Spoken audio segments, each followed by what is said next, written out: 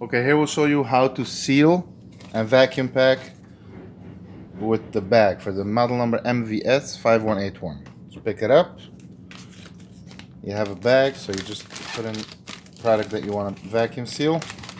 You put in the end that's open in here. So make sure that it's inside. If you have to cut it, you can always put it here. Okay, and cut it accordingly. So now you just put in the seal. Make sure this doesn't go into the part, otherwise it will be sealed in. Okay. Just a second, let's make sure it's good.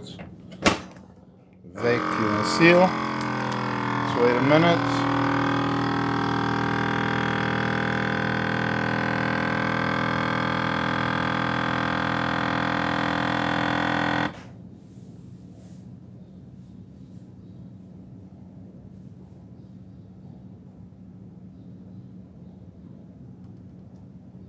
Now you're here at releasing the ear.